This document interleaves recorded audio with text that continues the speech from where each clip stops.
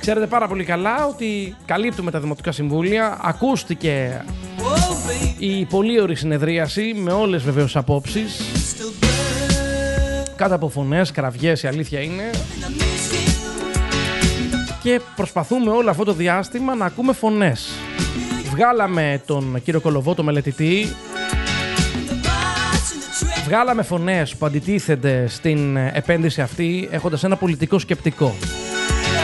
Βγάλαμε τον πρόεδρο του επιμελητηρίου, τον κύριο Σκαδαρέση, μεταξύ άλλων, ο οποίος ε, συνέδεσε την αρχή όλης αυτής της ιστορίας με, έναν, με, ένα, με ένα ξεχωριστό κομμάτι όπως είναι ο συνεταιρισμός ΤΑΟΛ. Δηλαδή θέλω να σας πω ότι παράλληλα εκεί στο χώρο τρέχει μια διαφορετική διαγωνιστική διαδικασία. Είναι η διαγωνιστική διαδικασία του ΤΑΟΛ και είναι η διαγωνιστική διαδικασία που τρέχει από το Δημοτικό Λιμενικό Ταμείο με μια διακήρυξη που ξεκίνησε από την προηγούμενη διοίκηση του Δημοτικού Λιμενικού Ταμείου.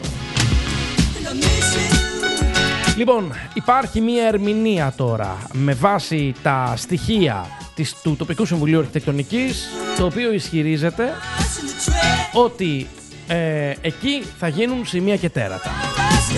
Όλα αυτά υπόθηκαν στο Δημοτικό Συμβούλιο αναλυτικά, ακούστηκαν όλες οι απόψεις. Υπήρχε βεβαίως και η πλευρά της μελετητικής εταιρείας που κάνει τη μελέτη και που έχει την ευθύνη για αυτό το έργο. Εμείς όμως εδώ από ένα δημόσιο βήμα δεν μπορούμε να γίνουμε για παράδειγμα μελετητές, δεν είμαστε μηχανικοί. Το μόνο που μπορούμε να κάνουμε είναι να διαχωρίσουμε τη συζήτηση αυτή σε δύο σκέλη.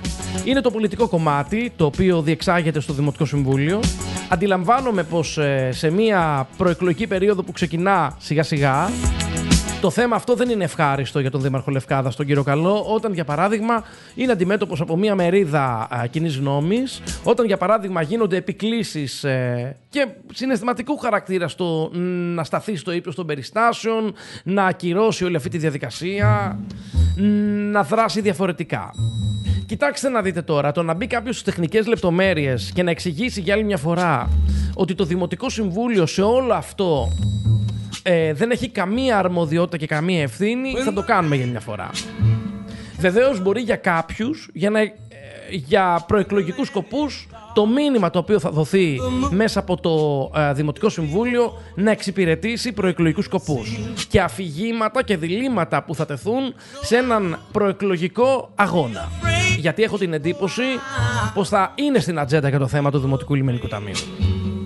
Γι' αυτό και γίνεται μια προσπάθεια και γι' αυτό και ο κύριος Ζακονταϊδής έχει σπράξει τα πυρά πολιτικών δυνάμεων το τελευταίο διάστημα καθώς διαφαίνεται μια μεταστροφή η οποία βασίζεται σε συγκεκριμένα επιχειρήματα. Αυτά τα επιχειρήματα βεβαίως μένει να δούμε αν όντως σε αυτή την επιτροπή που θα υπάρξει, που θα, που θα δημιουργηθεί και θα σας πω τι εννοώ, σε αυτή την αξιολόγηση της μελέτης, αν αυτές οι ενστάσεις ευσταθούν για να ε, πολιτικά στοιχειοθετήσει το αφήγημά του ο κύριος Ζακοντέδης. Πολλοί βεβαίως του χρεώνουν λάθη σε μια αρχική διακήρυξη που ξέρετε έχει παραχωρήσει πολύ χώρο εκεί Βεβαίως υπάρχει και άλλη μία πλευρά που ισχυρίζεται πως επειδή εκεί ο χώρος είναι περιοχή Natura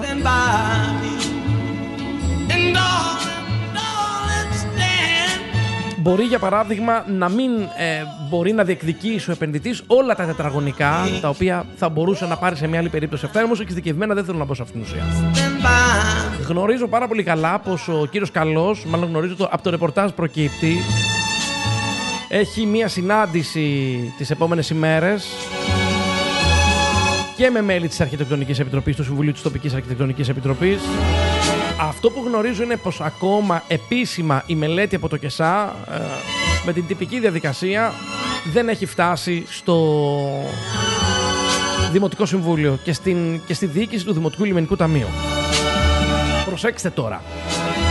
Η διοίκηση του Δημοτικού Λιμενικού Ταμείου θεωρεί και το είπε ο κύριος Καρβούνης πως αναφορικά με το τι έπρεπε να κάνει στη διαγωνιστική διαδικασία έχει τελειώσει η δουλειά που έπρεπε να κάνει το Δημοτικό Λιμενικό Ταμείο. Εγώ βάζω τώρα κάτω τα δεδομένα. Σας λέω ποια είναι η πραγματικότητα, πού είμαστε. Έχει τελειώσει και είναι λοιπόν η διαδικασία όλων αυτών των φορέων, των συμβουλίων, των υπουργών να κρίνουν αν αυτή η μελέτη που τρέχει το μελετητικό γραφείο για λογαριασμό της νόσεων πληρεί τους όρους της διακήρυξης και βεβαίως να πιστοποιηθεί αν όντως οι φωνές που φωνάζουν και λένε ότι για παράδειγμα δεν εφαρμόζονται αυτοί οι όροι έχουν βάση. Προσέξτε, με βάση τους χειρισμούς του τοπικού Συμβουλίου Αρχιτεκτονικής. Το Κεντρικό Συμβούλιο Αρχιτεκτονικής δεν έχει κάνει αυτές τις παρατηρήσεις, την έχει, την έχει εγκρίνει τη μελέτη αυτή. Και όπου άλλο έχει εγκριθεί. Και από τους ε, φορεί αρχαιοτήτων και τα πάντα. Τώρα βέβαια, εγώ δεν ξέρω αν μπορώ να υιοθετήσω στο δημόσιο λόγο αυτό το εντάξει ρε παιδί μου τώρα σιγά να μην περάσει μελέτη. Γιατί αν για παράδειγμα θεωρούμε πάντα εκ προημίου πως οτιδήποτε θέλει να γίνει μια επένδυση στο, στο νομό μας ότι ε, εντάξει ρε παιδί μου τώρα περνάει η μελέτη θα πρέπει να το δούμε συνολικά. Και θα πρέπει λοιπόν να βάλουμε στο κάδρο τα πάντα που έχουν να κάνουν με την τουριστική επένδυση. Να μας ενοχλούν όπως είπαμε και οι βίλες που φυτεύονται από εδώ και από εκεί και οι διάφορες παρεμβάσεις που μπορεί να γίνονται στο ιστορικό κέντρο και άλλες παραβιάσεις. Δηλαδή θέλω να πω ότι μην το βλέπουμε μεμονωμένα, να το δούμε όλο αυτό συνολικά. Επίσης, θα πρέπει να μπούμε και σε μια καταγραφή κολοτούμπων και ανθρώπων που είχαν και δημόσιο βήμα και που αρθογραφούσαν κάποτε και γράφαν διάφορα πράγματα διαφορετικά. Και τώρα τους εξυπηρετεί μια άλλη άποψη και τη λένε την άλλη την άποψη. Όμως κάποτε είχαν και ιδιαίτερες στενές σχέσεις και βόλταραν μαζί με τους μελετητές. Γιατί είναι μικρή η κοινωνία και τα ξέρουμε όλα αυτά. Λοιπόν, ο Δήμαρχος Λευκάδας θα εισηγηθεί τη δημιουργία μιας τριμελούς επιτροπής. Σε αυτή δεν θα πω ονόματα, γιατί δεν θέλω το πράγμα να το κάνουμε περίπλοκο, ούτε θέλω για παράδειγμα να φέρω σε δύσκολη θέση και τον Δήμαρχο Λευκάδας για να με παίρνει τηλέφωνο και να μου λέει πού τα ξέρεις και γιατί τα λες. Το ρεπορτάζ όμως, αυτό το οποίο σας λέω, επειδή εύλογα τώρα κάποιοι θα πούνε, γιατί ακόμα, ακόμα και στο ρεπορτάζ, επειδή κοιτάξτε να δείτε, όταν για παράδειγμα δεν είσαι δημοσιογράφος και όταν έχεις συνηθίσει να παίρνεις τηλέφωνο κάποιον και να λες πάρε μωρέ και γράψε δύο κουβέντες. Θεωρούν όλοι ότι σκεφτόμαστε και λειτουργούμε με βάση το πώς σκέφτονται αυτοί. Ότι μας παίρνει, τι παίρνω τηλέφωνο εγώ το Δήμαρχο και του λέω Δήμαρχε, για πες τι θα πω. Εδώ είναι ο κύριος Καλός και ο κύριος Δρακονταϊδής και τους προκαλώ, αν έχει συμβεί αυτό το πράγμα, να βγουν και να με αδειάσουν. Το ότι τους έχω πάρει τηλέφωνο για το ρεπορτάζ, το ότι ζητάω και συζητάω στα πλαίσια του off the record ε, για να με βοηθούν στο να διαχειρίζομαι συζητήσεις, πράγματα το κάνω. Και ένας δημοσιογράφος πρέπει να σηκώνει το τηλέφωνο του. Και αυτό λοιπόν που σας λέω τώρα δεν προκύπτει από επαφή. Και ο κύριος Καλός, αν μας ακούει, το ακούει τώρα από τον πρίσμα 91,6. Θα υπάρχει λοιπόν ένας εκπρόσωπος από το νομικό τμήμα του Δήμου, από την οικονομική και την τεχνική υπηρεσία. Θα μου πείτε τώρα επί της ουσίας θα κάνει. Θα εγκρίνει, προσέξτε, αν αυτή η μελέτη πληρεί τους όρους για να, για να, για να πει στο Δημοτικό Λιμενικό Ταμείο ότι κοίταξε να δεις, να κάνει μια σύσταση ότι κοίταξε να δεις, αυτή η όρη δεν είναι σωστή και να ασκηθεί μια πίεση. Πρέπει να σας πω όμως ότι σύμφωνα πάλι με το ρεπορτάζ, ότι η επόμενη συζήτηση και το πλαίσιο συζήτησης στο οποίο θα αναμειχθεί το Δημοτικό Λιμενικό Ταμείο και αυτό προκύπτει από το ρεπορτάζ, θα είναι μόνο αυτό που είπε ο κύριος Καρβούνης από την αρχή. Δηλαδή, θα κάνουμε μια αναλυτική ενημέρωση που νομίζω ότι αυτό το πράγμα είναι χρήσιμο. Δηλαδή, για ποιο λόγο να μην μπούμε στη διαδικασία να γίνει μια συζήτηση όταν θα έχουμε τη μελέτη. Να είναι εδώ οι μελετητές, να, να μην γίνει οχλαγωγία, να εκπροσωπηθούν όλοι οι φορείς, να βάλουν κάτω τους μελετητές και να τους ανακρίνουν. Θέλω λοιπόν να πω πως είναι λίγο αντιφατικό για μένα, για τη δική μου λογική, που δεν θέλω να χαϊδέψω αυτιά κανενός, γιατί δεν έχω κανένα συμφέρον. Εγώ απλά σκέφτομαι, για παράδειγμα, ως δημοσιογράφος και ως πολίτης του τόπου, ότι κοίταξε να δεις. Και παλιά φωνάζαμε και για τη Μαρίνα, και παλιά φωνάζανε και για τη Μαρίνα του Βλυχού να μην γίνει, και παλιά κάποιοι φώναζαν και για το ελικό πάρκο και θυμάμαι το έχει πει και ο πρώην δήμαρχος, ο κύριος Λογοθέτης, ότι είχαν βγάλει πανό ότι εδώ δεν είναι Σουηδία. Έχω την εντύπωση όμως ότι με βάση το ρεπορτάζ τώρα που, που κάνουμε, αν υπήρχε τώρα με αυτή την ενεργειακή κρίση, λέω θεωρητικά ένα αιωλικό πάρκο, αν θα υπήρχε αυτονομία ηλεκτρική στα χωριά στη Νότια Λευκάδα. Γιατί τώρα βλέπετε ότι γίνεται αγώνας τοποθέτηση των αιωλικών πάρκων. Θέλω με αυτό να πω πως αν για παράδειγμα αυτός που ηγείται, ο πολιτικός, θα πρέπει να φουγκράζεται φυσικά και την αντίθετη άποψη, θα πρέπει όμως να εμπνέει και να επιβάλλει και τη λογική. Διότι οι συλλογικότητες φωνάζουν, πολύ καλά κάνουν και φωνάζουν, από την άλλη όμως θεωρώ ότι σε ένα βαθμό εξυπηρετούν και πολιτικές σκοπιμότητες με το βλέμμα στις εκλογές. Και θα καρποθούν, για παράδειγμα, το ότι να κοιτάξτε να δείτε, εμείς βγήκαμε και φωνάζαμε και το σηκώσαμε και μας φοβούνται και όλα αυτά. Ο Δήμαρχος λοιπόν θα πει σε αυτή την επιτροπή να βγάλει συμπεράσματα και θα επικοινωνήσει με το Δημοτικό Λιμενικό Ταμείο. Το Δημοτικό Λιμενικό Ταμείο έχω την αίσθηση, αυτό το οποίο προκύπτει και από τα όσα έχει πει ο κύριος Καρβούνης, θεωρεί πως όποιες παρατηρήσεις υπάρξουν μπαίνουν σε μια διαβούλευση, αλλά εκτιμά, τώρα δεν θα μπω στη διαδικασία της στατικής μελέτης, γιατί ρώτησα, δεν είμαι μηχανικός, αλλά αυτό που ακούω και μου λένε ότι αυτή η στατική μελέτη, γιατί λένε τώρα, αφού έκανε το Δημοτικό Λιμενικό Ταμείο στατική μελέτη, για ποιο λόγο δεν εφαρμόζει τη στατική μελέτη και κάνει δική του ξεχωριστή; Μα από ό,τι μαθαίνω, που θα γίνω μηχανικός στο τέλος, ότι α, η πρώτη στατική μελέτη δεν μπορεί να εφαρμοστεί δεν ξέρω τώρα τα τεχνικά ότι για παράδειγμα είναι μια προπόθεση. Προηγείται η, η μελέτη, όλο αυτό που γίνεται και εφαρμόζεται. Δεν είναι δηλαδή ότι μπήκε από την πίσω πόρτα μια δεύτερη στατική μελέτη για να αλλάξει τα δεδομένα. Αυτό έχω καταλάβει όλα αυτά τα οποία συζητώ. Και αυτό το οποίο μας είπε και ο μελετητής ο κύριος Κολοβός. Εκτός κι αν θεωρήσω ότι λέει ψέματα ο κύριος Κολοβός που είναι επαγγελματίας και που βγήκε εδώ, για παράδειγμα, με το ονοματεπώνυμό του και με την ιδιότητά του. Τι να σας πω, φίλοι και φίλες που μας ακούτε. Προσπαθώ να τα βάλω κάτω στη λογική όλα αυτά τα πράγματα.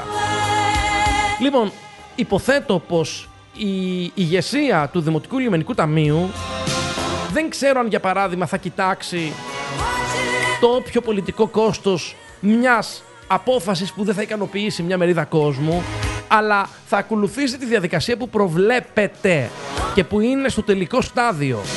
Διότι πρέπει να σας πω ότι τα πράγματα δεν είναι πάρα πολύ απλά. Και αυτό το εξήγησε και ο πρόεδρος του, του ΤΑΟΛ, ο οποίος απάντησε προχθές και είπε σε αυτούς που λένε πολύ ρομαντικά και το δέχομαι και αυτό μακάρι να γινόταν διαφορετικά και να ήταν αλλιώς τα οικονομικά του συνεταιρισμού.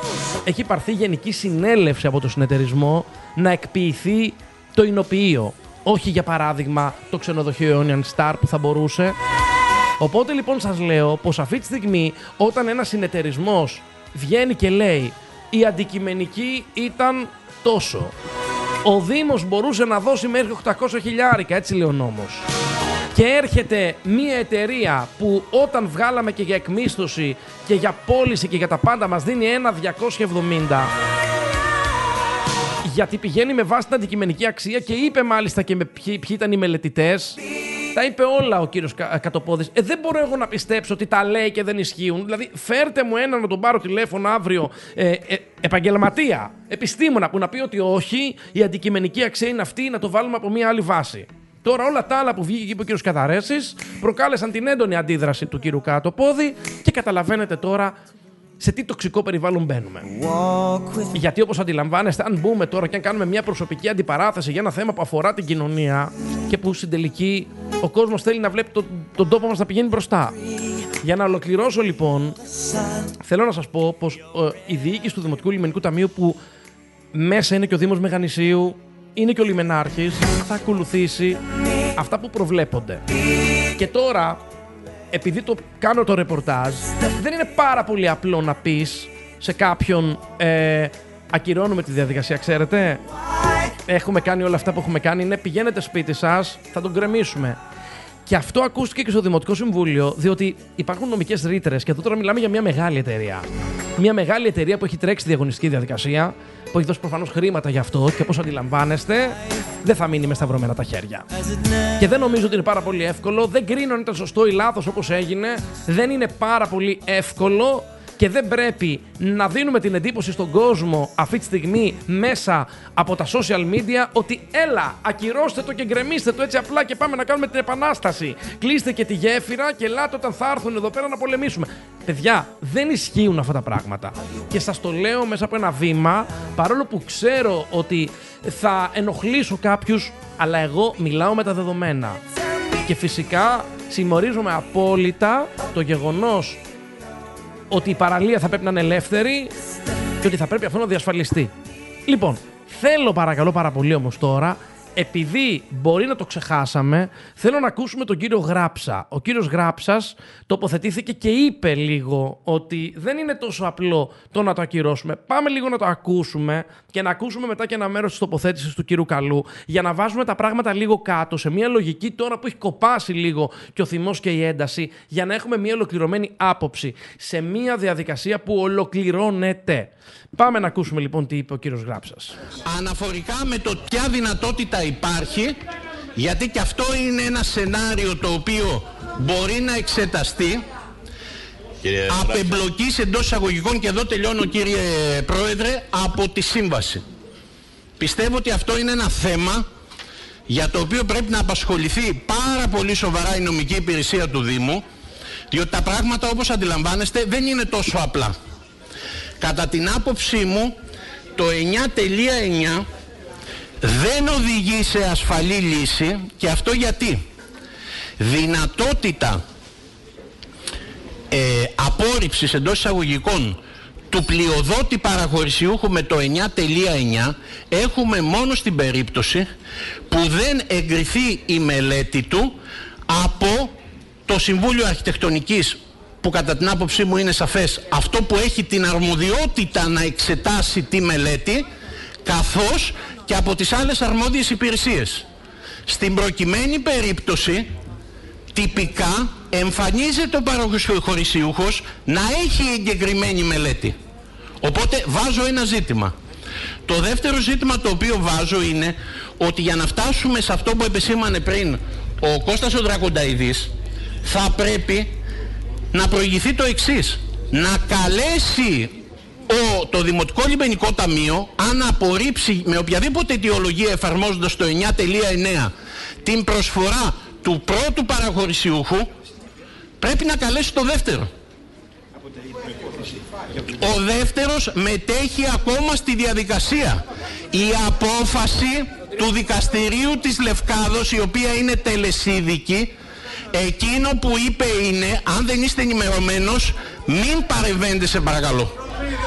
Ο δεύτερος λοιπόν Σας παρα... Μπορείτε να σταματήσετε Ο δεύτερος λοιπόν Μπορείτε να σταματήσετε.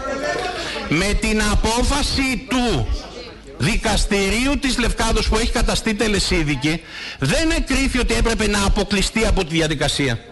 Εκρίθη ότι εφαρμόζοντας το κριτήριο της πλέον συμφέρουσας προσφοράς όπως διαμορφώθηκε στη διακήρυξη θα έπρεπε να μην έχει καταταγεί πρώτος αλλά δεύτερος.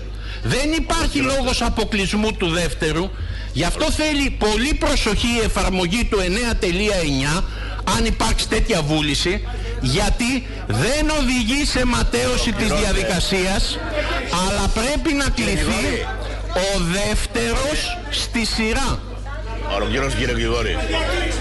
Λοιπόν, Λοιπόν, και φωνάζουν κάποιοι και ενοχλούνται με αυτό το οποίο είπε ένας έγκριτος νομικός και ειδικός συνεργάτης του Δημάρχου, ο κύριος ε, Γράψας. Γιατί είπε ξεκάθαρα και δεν το λέω εγώ ότι η διαδικασία απεμπλοκής, εφόσον προσέξτε, το αποφασίσει το Δημοτικό Λιμενικό Ταμείο. Το τι θα αποφασίσει, για παράδειγμα, ο Δήμαρχος Λευκάδας και το τι θα εισηγηθεί μπορεί να έχει πολιτικά χαρακτηριστικά. Μπορεί, για παράδειγμα, ο κύριος Καλός να πει ότι ναι, εγώ δεν το εγκρίνω για να μπορεί να έχει ένα αφήγημα ε, εκλογικό. Από την άλλη, γιατί μπορεί να σκέφτεται την επόμενη μέρα ή και την πολιτική φθορά του. Από την άλλη, όμως, την απόφαση την παίρνει ο το, το, το ΔΣ του Δημοτικού Λιμενικού ταμείου. Το λέω γιατί φίλοι και φίλες, επειδή έχουμε χαθεί στη μετάφραση και επειδή προσπαθώ και κάνω μια, αγων... με μια τεράστια προσπάθεια να βάζω κάτω όλα τα δεδομένα για να έχετε μια σφαιρική άποψη, γιατί ακούμε και διαβάζουμε διάφορα. Δεν παίρνω θέση δεν παίρνω θέση σε αυτά που, τα οποία παίζω. Απλά προσπαθώ να, να εξηγήσω πως σε κάποιον τώρα που μπορεί να πει ελεύθερα γκρέμισε το όλο, άστο, στάχτηκες μπούρμπερι, ε, σε παρακαλώ πάρα πολύ, πάμε και πέστε το θέλουμε, ότι έχουμε φύγει από αυτό το στάδιο. Είμαστε σε μια διαγωνιστική διαδικασία που ολοκληρώνεται. Που είπε ο κύριος Γράψας ότι φαίνεται να έχει όλες τις προϋποθέσεις αυτή τη στιγμή ε, αδειοδότησης. Δεν τα παγώ, τα είπε ο κύριος Γράψας, δεν είμαι εγώ ειδικός. Και βεβαίως Υπάρχει μια βούληση πολιτική του Δημάρχου. Να ακούσουμε λίγο και ο κύριος Καλός, παρακαλώ πάρα πολύ, τι είπε ο Δήμαρχος στο Δημοτικό Συμβούλιο. Είναι γεγονός ότι υπάρχουν διαφορετικές προσεγγίσεις για το όλο θέμα. Από την κατεδάφιση μέχρι την πλήρη αξιοποίηση και έτσι και κάτι παραπάνω από αυτό το οποίο υπήρχε. Η άλλη άποψη, αφήστε το μην το πειράζετε έτσι όπως είναι, είναι η ιστορία του τόπου μας. Πολλές. Αλλά ρωτάω, δεν θα πρέπει επί κάποιου συγκεκριμένου σχεδίου να τοποθετηθούμε; Τώρα, σε ό,τι αφορά κάποια θέματα τα οποία αναφέρθησαν εδώ. Γνωρίζουμε όλοι ότι είναι ζώνη Α. Που σημαίνει ότι δεν μπορεί να χτιστεί είτε στο χώρο του ΤΑΟΛ είτε στο χώρο του τουριστικού περιπτέρου ό,τι θέλουμε. Είναι συγκεκριμένα πράγματα τα οποία μπορούν να επισκευαστούν. Επίσης, σχετικά να επισκευαστούν βεβαίως. Να επισκευαστούν με τον τρόπο με τον οποίο θα επισκευαστούν, δεν θα το υποδείξω εγώ, θα το υποδείξει το ΚΕΣΑ ή όποιο άλλο αρμόδιο όργανο. Μια και αναφερθήκαμε στο ΚΕΣΑ. Και καθότι βλέπω για το Συμβούλιο της Αρχιτεκτονικής, όπου με δική μου πρόταση, την οποία απεδέχθη και είναι παρούσα εδώ και ξέρει και την εκτίμηση την οποία έχω. Και μιλάω για την κυρία Γεωργίου Όπη. Γνωρίζει πολύ καλά ότι καμία, μα καμία παρέμβαση δεν έγινε όχι μόνο από μένα αλλά από οποιονδήποτε στη λειτουργία και στην εξέταση του θέματος στο Συμβούλιο της Αρχιτεκτονικής. Αλλά σας ρωτάω εγώ τώρα συνάδελφοι όλοι. Όταν υπάρχει συγκεκριμένη νομοθεσία και είναι εδώ και ο νομικός μου σύμβουλος ο κύριος Γράψας που αν χρειαστεί μπορεί να επιχειρηματολογήσει, να το ισχυροποιήσει αυτό που θα πω. Όταν υπάρχει συγκεκριμένη νομοθεσία που λέει ότι για περιπτώσεις πλατιών και κοινόχρηστων χώρων και κοινόχρηστων χώρων ιδιαίτερης σημασίας οι σχετικές μελέτες διαβιβάζονται από το Συμβούλιο Αρχιτεκτονικής προσέξτε, από το Συμβούλιο Αρχιτεκτονικής. Άλλο αν το Συμβούλιο Αρχιτεκτονικής είχε άλλη άποψη ή δεν γνώριζε θα πω εγώ στο Κεντρικό Συμβούλιο Αρχιτεκτονικής το λεγόμενο ΚΕΣΑ προς γνωμοδότηση Πού είναι το παράνομο ή το παράλογο του θέματος, Γιατί ακούω, γιατί ακούω ότι γίνανε από το Δημοτικό Λιμενικό Ταμείο μεθοδεύσεις να παρακαμφθούν. Αυτός ο νόμος που σας αναφέρω είναι του 17. Δηλαδή πριν ακόμα κατατεθεί η πρώτη πρόταση από τον είτε από τον Πάπα Σόιλ είτε από τον επόμενο, αφού στα δικαστήρια έχασε έτσι την, ε, την ανάδειξη ως προσωρινού ε, πλειοδότη από το προηγούμενο Δημοτικό Λιμενικό Ταμείο. Άρα λοιπόν και σε αυτό το θέμα να ξέρουμε πώς, πώς τοποθετούμαστε. Κύριε Δρακονταίδη, υπάρχει και η, εξέλιξη του, του νόμου του οποίου επικαλεστήκατε. Ε, είναι το ΦΕΚ 1864 του 2020 που πάνω κάτω αυτά όμως έτσι επιβεβαιώνει ότι για τον χώρο πέραν της χερσαίας ζώνης λιμένα είναι πολύ πιο αυστηρές οι προϋποθέσεις και εκεί προφανέστατα αν η όλη διαδικασία προχωρήσει ο Δήμος Λευκάδας θα κάνει ό,τι χρειάζεται προκειμένου να μην πάρθει ούτε ένα τετραγωνικό επί του Αιγιαλού πέραν της χερσαίας ζώνη λιμένα. Αναφέρθηκε το Υπουργείο Πολιτισμού και Αθλητισμού. Αυτό έτσι. Το ΚΑΣ, οι αρμόδιες υπηρεσίες αυτού. Οι αρμόδιες υπηρεσίες αυτού του Υπουργείου. Προφανώς. Και να προσθέσουμε, γιατί καλό θα είναι να το έχουμε και αυτό στα υπόψη μας, ότι για τις όποιες παραχωρήσεις, λόγω του ότι η περιοχή δεν είναι μια περιοχή, γιατί γίνεται, το βλέπω στο δημόσιο διάλογο, γίνεται μια έτσι προσπάθεια από κάποιους ανθρώπους, δεν μπορώ να πω ότι είναι από όλους, συσχέτισης ή παραλληλισμού με την παραλία στο κάθισμα. Η περιοχή στο κάστρο είναι περιοχή Natura που διέπεται από ακόμη πιο αυστηρούς όρους για τις όποιες παραχωρήσεις. Ας το έχουμε και αυτό στο μυαλό μας. Τέλος, σε ό,τι αφορά, σε ό,τι αφορά τη διαδικασία. Κύριε Δρακονταϊδή, πρέπει να απευθυνθώ σε εσάς. Προσπαθείτε με κάποιο τρόπο να ωρεοποιήσετε, να στρογγυλοποιήσετε την ε, αλλαγή της τάσης σας, για να μην χρησιμοποιήσω άλλο όρο, γιατί θέλω να υπάρχει όντως ένας, ένας διάλογος ο οποίος να είναι σε, σε ήρεμα επίπεδα, αλλά δεν το καταφέρνετε όμως για πάρα πολύ απλούς λόγους. Μνημόνευσα ότι από τις πρώτες ενέργειες σύμφωνα με τα γραφούμενα για την παραχώρηση του χώρου ήταν της διοίκησής σας αρχές του 2015, σεβαστό καθόλου, σεβαστό καθόλου, αλλά αυτή είναι η πραγματικότητα την απόφαση του, την συζήτηση στο Δημοτικό Συμβούλιο του 2015 όπου αναφέρεστε, όπου αναφέρεστε ναι ότι δεν καθυστερήσατε καθόλου 8 μήνες στη διακυβέρνηση του τόπου δεν υπήρχε καμία καθυστέρηση. Έπρεπε να τελεσυδικήσει η διαμάχη. Τώρα σας παρακαλώ πολύ. Τώρα τρεις ώρες σας άκουγα με ευλάβεια θρησκευτική. Δηλαδή, δήμαρχος να ακούει τρεις ώρες τώρα όλους τους υπόλοιπους. Ε, εντάξει, δεν είναι και συνηθισμένο, αλλά. Εντάξει. Λοιπόν, για, όλα αυτά δεν τα λέω, τα λέω για να, για να διαμορφώσει την σωστή άποψη ο κόσμος. Λοιπόν, από τις πρώτες προτεραιότητές σας, λοιπόν, σύμφωνα με τα λεγόμενα τα δικά σας, και σας λέω, δεν είναι κατακριτέο αυτό. Ήταν η επίσπευση διαδικασίας της παραχώρησης του χώρου για να απαντήσω και σε έτσι, δημότες οι οποίοι αναρωτήθησαν. Έτσι, και ε, εύλογο θα πω. Λοιπόν, και σε ό,τι αφορά, για να έχουμε καθαρές κουβέντες, σε ό,τι αφορά την παραχώρηση του χώρου, όπου εμείς ως Δημοτικό Λιμενικό Ταμείο και επικουρικά, γιατί αυτή είναι η πραγματικότητα. Ο Δήμος Λευκάδας, κάτι το οποίο βέβαια συνέβαινε και με την προηγούμενη Δημοτική Αρχή, ως προς την παραχώρηση της όποιας έκτασης, πάλι είπατε τα μισά. Εγκρίνει λοιπόν η απόφαση του 18, γι' αυτό και κύριε Γλιγόρη, επαναδιαβάστε και όχι μόνο του 20, να διαβάσετε και του 21, τι διαβάσατε, που λέει ότι παραχωρείται και το όρος προσωρινή παραχώρηση, όπως θα μας πει ο νομικός μας, δεν είναι προσωρινή, δηλαδή για ένα μήνα, δύο μήνες ή τρεις μήνες. Έτσι είναι η διατύπωση. Όταν δεν γίνεται οριστική παραχώρηση, λέγεται προσωρινή ε, των 8.400 τετραγωνικών, λέει ακριβώς παρακάτω ότι η ακριβής θέση και η έκταση του παραχωρούμενου χώρου εμφανίζεται στο τοπογραφικό διάγραμμα του μηχανικού τάδε. Θέλετε να μάθετε... Κυρίου Τριφωνόπουλου, μιλάμε για την Πάπα Σόλ του 18. Θέλετε να ξέρετε, να, να μάθετε πια το τοπογραφικό αυτό τι έκταση είχε; 8.400 μέτρα. Αυτή ήταν λοιπόν η παραχωρούμενη, η παραχωρούμενη έκταση σύμφωνα, σύμφωνα με την απόφαση του 18 η οποία βέβαια ακολουθήθηκε γιατί η διοίκηση έχει μια συνέχεια και στις αποφάσεις τις άλλες.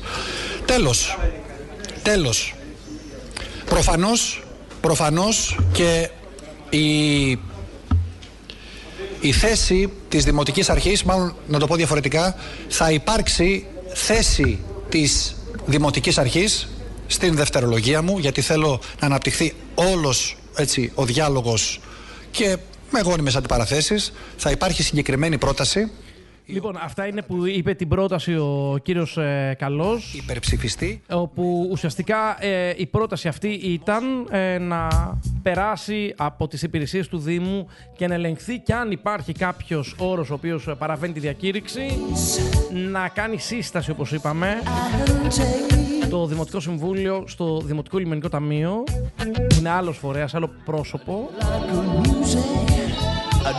και τρέχει τη διαγωνιστική διαδικασία. Αυτά τα παίζουμε γιατί ακούστηκαν στο Δημοτικό Συμβούλιο και καλό είναι να τα βάζουμε σε μία σειρά. Επαναλαμβάνω, γιατί θέλουμε να, να μείνουμε στο γεγονός πως έχουν υπάρξει δεδομένα πόσο κι αν κάποιοι επιθυμούν δεν μπορούν να αλλάξουν εύκολα. Από εκεί και πέρα θα κριθούν οι επιλογές και αποφάσεις όσων ξεκίνησαν αυτή τη διαδικασία και όπως τρέχει. Αντιλαμβάνομαι βεβαίως πως υπάρχει ένα πολιτικό κόστος πίσω από αυτό. Είναι σεβαστό. Δεν ξέρω για παράδειγμα αν όμως ε, η διοίκηση του Δημοτικού Λιμενικού Ταμείου θα το σεβαστεί με την έννοια αν για παράδειγμα θα μπορούσε να εισακούσει μια παρένεση του Δημάρχου, του Δημοτικού Συμβουλίου και να παρακάμψει στους όρους διακήρυξης ή την όλη αυτή διαδικασία. Εμείς όλες αυτές τις μέρες προσπαθούμε να ακούμε όλες τις απόψεις και προσπαθούμε να σας δίνουμε τροφή για σκέψη. Άσχετα αν συμφωνείτε ή όχι με την επένδυση αυτή, άσχετα για παράδειγμα αν θέλετε την επένδυση, άσχετα αν είστε παρατηρητές και θέλετε να ακούσετε για να έχετε γνώμη. Κλείνω λοιπόν και λέω ότι ο κύριος Καρβούνης, ε, υποθέτω, η επόμενη ενημέρωση δεν θα είναι η συνεδρία στο Δημοτικό Συμβούλιο για να αποφασίσουμε τι θα κάνουμε. Θα είναι για να υπάρξει αναλυτική ενημέρωση στη μελέτη και να απαντηθούν όλες οι ερωτήσεις από τους μελετητές. Οι οποίοι νομίζω ότι δεν το αρνούνται.